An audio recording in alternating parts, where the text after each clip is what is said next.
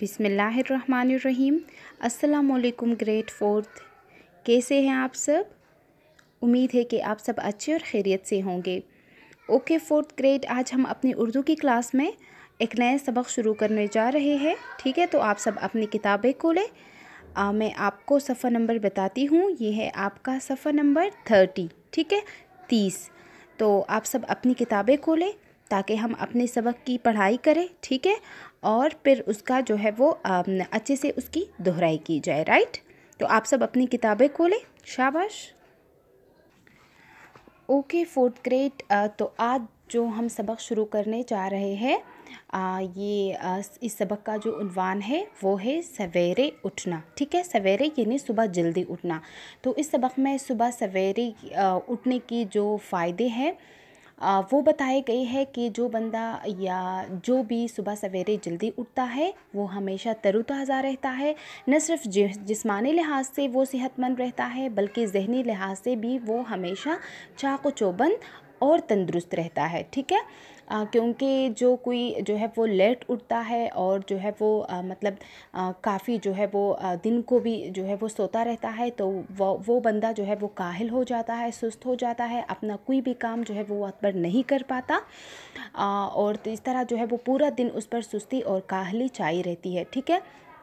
लेकिन जो लोग सुबह सवेरे जल्दी उठते हैं और फिर सुबह सवेरे उठकर जो है वो सैर करने जाते हैं तो वो हर लिहाज से तंदुरुस्त रहते हैं, क्योंकि सुबह सवेरे जो है उनको खूबसूरत मनाजिर देखने को मिलते हैं। अगर हम सुबह की ठंडी ठंडी हवाओं में सांस ले लें और अगर हम जो है वो वहाँ पर परिंदों और जो है वो हवाओं की ये चहचहाहट और हवाओं की जो झोंके हैं उनमें अगर हम मगन हो जाए तो हमें जो है वो न सिर्फ़ जिस्मानी लिहाज से काफ़ी जो है वो फ़ायदा पहुँचता है, बल्कि जहनी लिहाज से भी हम काफ़ी सेहतमंद रहते हैं, ठीक है?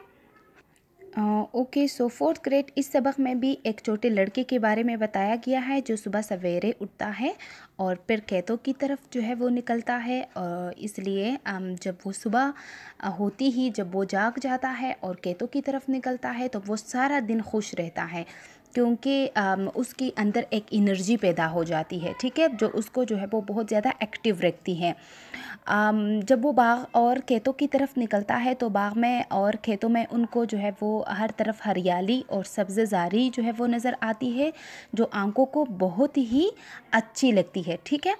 और साथ में जो है वो चहचहाती परिंदों की आवाज़ें भी सुनता है और सुबह सवेरे जो पंज परिंदों की जो चहचहाहट होती है उनकी आवाज़ें जो है वो कानों को बहुत अच्छी लगती हैं।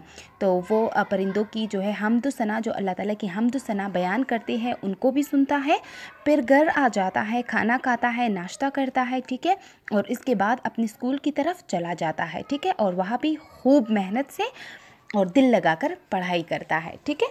तो आप भी कोशिश करें कि अपना जो है वो, अपना कीमती वक्त यानी सुबह जो है वो जल्दी उठा करें और आपकी जितनी भी एक्टिविटीज़ होती है या जितनी भी आपके स्कूल का काम होता है, उसको टाइम पे और वक्त पे करें, ठीक है? ओके फोर्थ ग्रेड तो आ, हमें पता चला कि सुबह उठने की बहुत ज़्यादा अहमियत है। साथ में आ, इस बच्चे के बारे में जो कुछ इस वक्त में आ, बताया गया है उसकी भी हमने थोड़ी सी जो है वो खुलासा बयान किया। अब हम आ, जो है वो सबक की पढ़ाई की तरफ़ बढ़ते हैं ठीक है? तो आप सब अपनी किताबें खोलें और अपने आ, जो है वो टॉपिक यानी सवेरे उठना और ये है पेज नंबर तीस ठीक है? सफ़ा नंबर तीस। तो चले इसको हम शुरू करते हैं। उठता है सवेरे जो लड़का, सवेरे यानी सुबह जल्दी। है सारा दिन वो खुश रहता। तो जैसा कि मैंने आपको बताया कि जो लड़का, जो बच्चा सुबह सवेरे जल्दी उठता है, वो सारा दिन तरोताज़ा और खुश रहता है।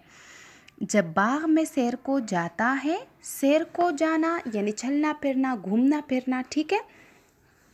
खुश होकर वापस आता है, क्योंकि बाग में उसको बहुत ज़्यादा खूबसूरत मनाजिर देखने को मिलते हैं। जैसे कि मैंने आपको बताया कि बाग में, खेतों में हर तरफ़ हरियाली होती है, फूल होते हैं, परिंदों की चहचहाहट सुनने में मिलती है तो ये सारी चीज़ें उनको खुश कर देती है, ठीक है? क्या नर्म है पावो तले सब्ज़ा? एक फ़र्श बिछा है मखमल का। कहते हैं कि नर्म नर्म जो है नाजुक को कहते हैं। पाव ठीक है? तले नीचे सब्ज़ा घास यानी पाव के नीचे जो घास है सब्ज़ घास है वो बहुत ही नर्म नाजुक मालूम होते हैं।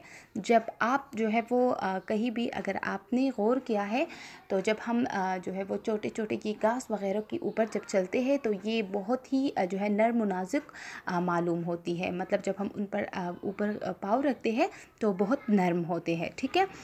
तो कहते हैं कि ये इस तरह मालूम होता है कि जैसे किसी ने जो है वो रेशमी यानी मखमल कपड़े का एक फ़र्श बिछाया हुआ है, ठीक है?